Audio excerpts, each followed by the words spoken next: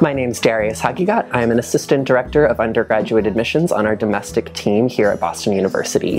One question that we get a lot while we're on the road is what courses you should be taking in high school to be a competitive applicant. And while we can't sit down and make your schedule with you, we can give you some general pointers. Uh, so we advise basically as many years of your core academic subjects as you can do. So four years of English, three to four years of math. We strongly recommend taking through pre-calculus level math or calculus if you can get there. Um, we recommend three to four years of social science, three to four years of lab science, and two to four years of a foreign language. And what exactly those courses look like are going to vary based on which high school you're going to. So maybe you're at a school that offers lots of honors and APs. Great. Are you taking advantage of some of those courses? Maybe you're at a school that has an IB program. Awesome. If you can take a full IB diploma even, that also looks terrific. So it all comes down to challenging yourself within the context of what your school has to offer. We also recognize that your high school curriculum might look different if you're going to school outside of the US, and so we recognize external exams from a host of countries around the world.